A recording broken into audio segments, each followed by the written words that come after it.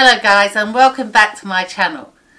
So those of you that have been following me know that I am in the process of completely decluttering my home. I'm selling all of my possessions, all my clothes, everything, my house, my car, um, to go travelling full time.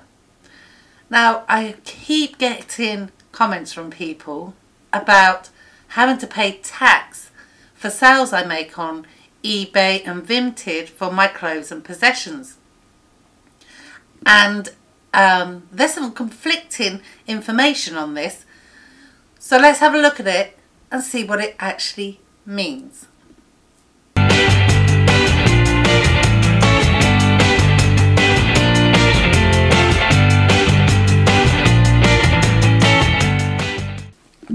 Hello and welcome back.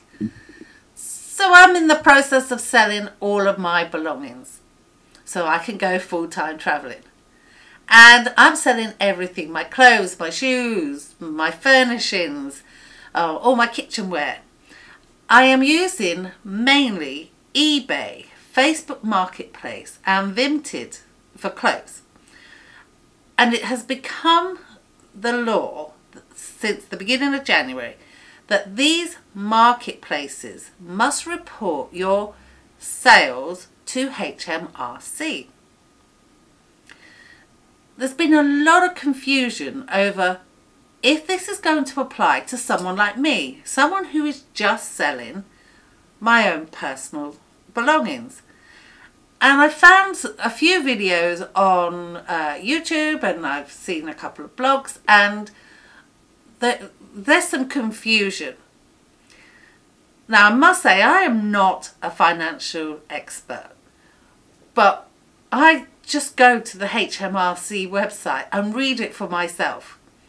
And I am confident that I have nothing to worry about.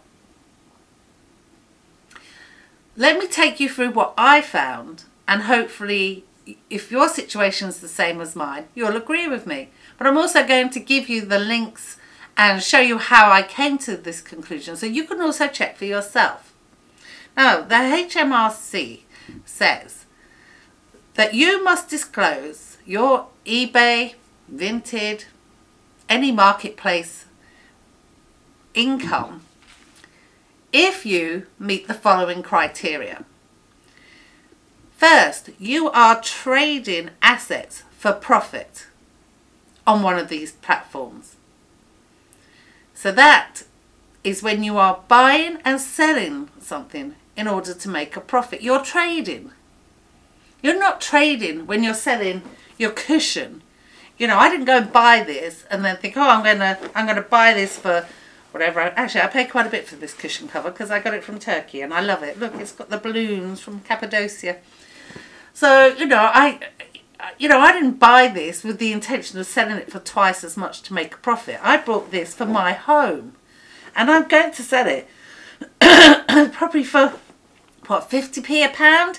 A heck of a lot less than I paid for it. But that's how it goes, isn't it? The second criteria is your annual income would have to be over a thousand pounds. Now this is the case for anyone that's self-employed or trading you can make up to a thousand pounds of profit a year and you don't need to declare it. But as soon as you make more than that, you do. But that's going into another subject. That's about self-employment and trading. We're not talking about that. We're talking about selling our own belongings and whether we have to pay tax or not. Now, I don't believe we do, but let's go and have a look together on the HMRC website. It's got a couple of very useful pages and we can see for ourselves. So we're on the HMRC site now, and as you can see, it clearly sets out whether we would have to pay tax on selling our personal possessions. And it states if you are just selling some unwanted items that have been laying around your home, such as the contents of your loft or garage, it is unlikely you will have to pay tax. And it goes on to explain that if you buy goods with the intention of selling them for a profit, then you are likely to be trading and then will have to pay tax on your profits. And it goes on further down to give some examples of when you may have to pay tax. And just reading through Cash in the Attic and Sally's position, that absolutely matches what we are doing. We are decluttering and selling our personal possessions. Now, there's a link there so we can go and check our own personal position. We'll come back to that. But just have a read through that. And as you scroll down, it's got lots of other examples of when you may have to consider whether you have to pay tax or not, such as clothing resellers, selling homemade greeting cards, etc., etc. But none of these apply to us. We are the cash in the attic category. So let's go back up here and find that link and click it. So we've now clicked here. And here we can check if we need to tell HMRC about additional income. And it gives you some examples here, such as if you're selling things at a car boot sale or auctions or online, doing casual work. And you just scroll down here and you can check now your own personal position. So let's click that. How did you receive your additional income? Well, it was from sales of goods and services in our case, because we're selling our own personal goods.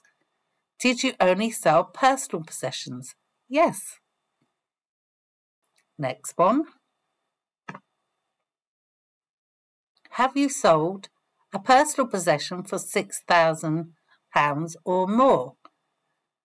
And you can also see that does not include your car or your home. Well, in my, my position, nothing I am selling is more than £6,000. So I'm going to click no. And here's the answer. I do not need to tell HMRC about this income.